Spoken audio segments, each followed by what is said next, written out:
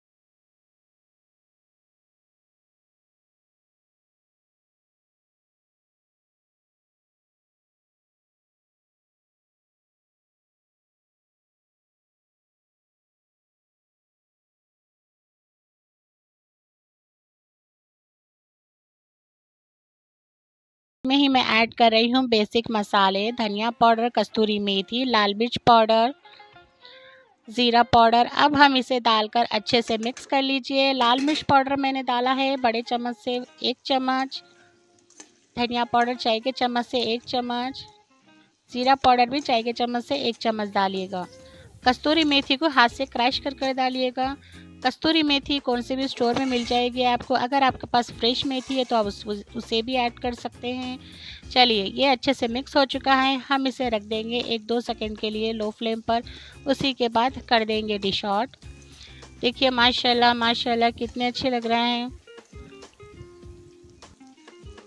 देखिए अब ये बनकर रेडी हो चुके हैं माशाल्लाह से। चलिए अब हम इसे रख देते हैं चूल्हे से नीचे। उसी के बाद हम इसे कर देंगे डिश आउट।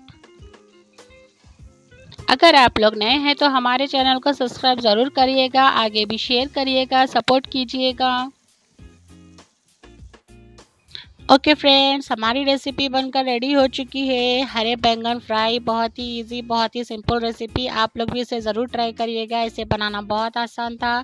इसे आप चपाती में, जवारी की रोटी में खाइए। खाने में, चटनी के लिए भी खा सकते बहुत इजी और सिंपल रेसिपी है। चलिए हमारे चैनल को सब्सक्राइब करिए लाइक करिए शेयर करिए सपोर्ट कीजिए, आगे भी बढ़ाइएगा। दुआ में याद रखिएगा कमेंट्स करना मत भूलिएगा। अल्लाह हाफिज़।